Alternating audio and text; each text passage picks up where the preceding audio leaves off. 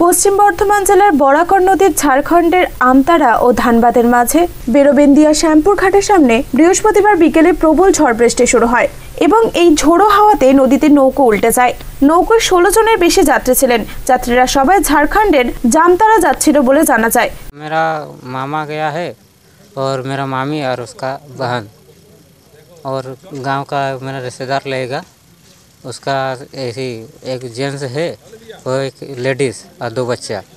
मैंने कहाँ जा रहा था? यहाँ शामपुर। शामपुर मंचिया मैंने नदी ऊपर हो रहा था। अच्छा कुछ विशेष काम में ऐसे ही विशेष काम अब मेहमान घर आया था उसके बाद जा रहा था वापस। मेहमान घर आया था? उपचुड़िया। चलिए किस लिए आया था वो लोग? उपचुड़िया अब किस ले आया था वो हमको मालूम नहीं उतना। और इसका मामा मेरा लोग आया था इसका पिताजी मेरा देखने के पिताजी लिए। देखने के लिए आया था। अच्छा। क्या क्या खबर मिला आपको? खबर तो अभी लापता वही फ़ोन तो लगा रहे तो लापता बता रहा है। फ़ोन तो उन लोग को लगेगा नहीं।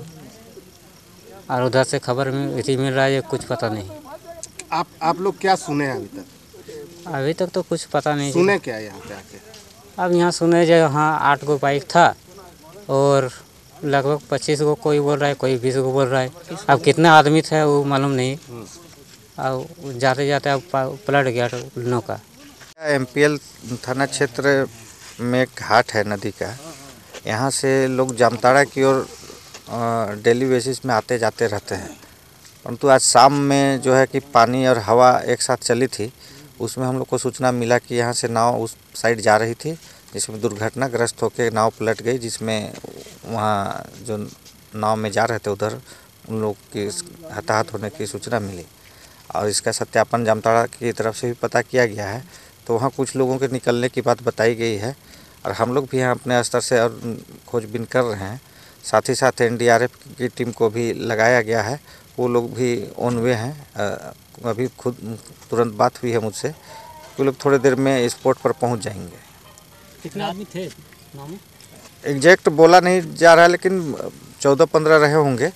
अब जो बचे हैं अगर वो बोलने की स्थिति में होंगे जामताड़ा में एडमिट है तो वो लोग बता पाएंगे और यहाँ पर अभी स्थानीय स्तर पर कोई भी आदमी स्पष्ट आई विटनेस नहीं मिल रहा है कि नाव में कितने आदमी थे जिनको हमने देखा है लेकिन इस साइड हमारे साइड से एक परिवार के बारे में पता चला अभी कि उसके घर में गेस्ट आए हुए थे जिसमें सात लोग थे जो उसी नाव में अ, गए थे साथ ही दो बाइक भी उसमें थी रात को क्या रेस्क्यू খবর পেয়ে পুলিশ ঘটনাস্থলে উপস্থিত হয়ে উদ্ধার কার্য শুরু করে এছাড়াও ঘটনাস্থলে উপস্থিত হন প্রাক্তন বিধায়ক অরুণ চ্যাটার্জি বিধায়ক অপর্ণা সেনগুপ্ত জানান শেষ খবর জানা যায় দুজন সাঁতার কেটে একটি গ্রামে উঠেছেন आज जो अ, घटना घटी है बारह बंदिया पुल में जो नाव से नाव पलट जाने की जो खबर लगभग पाँच साढ़े पाँच बजे के बीच जो घटना घटी है तो ये तो बहुत दुखद घटना है और इसका जिम्मेवारी झारखंड सरकार हेमंत जी है क्योंकि लगातार विधानसभा क्वेश्चन हम करते रहे विधानसभा बाहर में भी हम इस पुल को बनवाने को लेके हम धरना में बैठे कि ये संथाल परगना और कोयलांचल जोड़ने का ये पुल है। इस पुल को जल्द से जल्द बनवा दीजिए। अगर ये पुल बन जाता तो आज ये घटना नहीं घटती। इसलिए पूरा इस घटना का जिम्मेवारी झारखंड सरकार अभी तक कितने साव बरामद हुए हैं?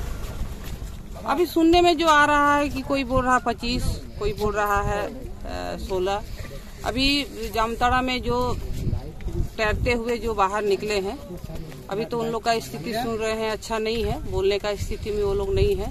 वो लोग ही बता पाएँगे कितना उस नाव में सवार व्यक्ति लोग थे। तभी पता चलेगा कि कितना दोषी किनको मानते हैं झारखंड सरकार। इसमें सरासर झारखंड सरकार की लापरवाही है। ये जन विरोधी सरकार है। ये जनता के का दुख सुख कभी नहीं मतलब ये अपना दुख सुख समझे। क्योंकि हम लोग जनप्रतिनिधि है हम लोग विधानसभा में जो हम लोग आवाज़ उठाते हैं ये तो जनता की आवाज़ होती है। पूरा विधानसभा की जनता की क्योंकि ये पुल बहुत बड़ा पुल कोयलांचल और संथाल परगना को जोड़ने का हम बार बार बोल रहे हैं ये पुल है।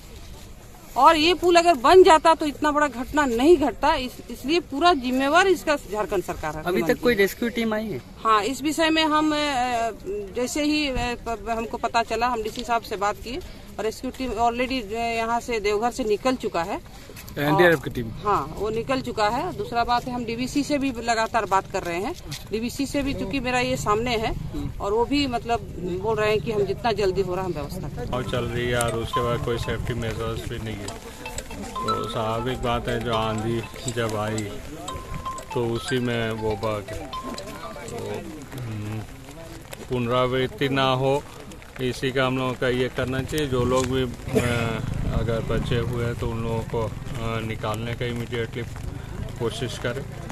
सरकार और अगर कोई मृत्यु हुई है कोई कैजुअलिटी हुई है तो उन लोगों को सरकार इमीडिएटली मुआवजा दे।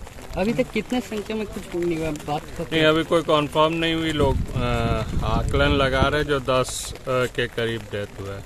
दादा अभी तक अभी तक कोई टीम आई हुई है क्या रेस्क्यू के लिए? नहीं जैसे जानकारी मिली जो एनडीआरएफ टीम अ, देवघर से आ रही है आपके আসানসোল থেকে সৌমিত্র গাঙ্গুলির রিপোর্ট আনন্দ বার্তা